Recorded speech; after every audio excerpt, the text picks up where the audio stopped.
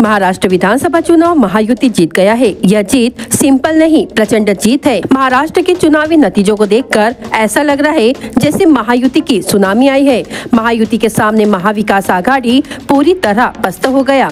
शरद पवार, उद्धव ठाकरे और राहुल गांधी के नेतृत्व वाला एम पचास सीटों पर सिमट कर रह गया। अब जब चुनावी नतीजे साफ़ हो गए हैं तो सबके सामने बड़ा सवाल है कि महाराष्ट्र का मुख्यमंत्री कौन होगा? यह सवाल इसलिए भी अहम है क्योंकि सीएम पद को लेकर भाजपा और शिवसेना में खिंचातान दिख रही है। महाराष्ट्र में बीजेपी, शिवसेना और एनसीपी की महायुति गठबंधन से अगला सीएम कौन होगा? इस पर सस्पेंस ही सस्पेंस है। दरअसल महाराष्ट्र चुनाव में भाजपा को मिली सीटों को देखकर फडणवीस कैंप सीएम पद को लेकर एक्टिव हो चुका है। बीजेपी की तरफ़ से देवेंद्र फडणवीस का नाम सीएम पद के लिए आगे बढ़ाया जा रहा है।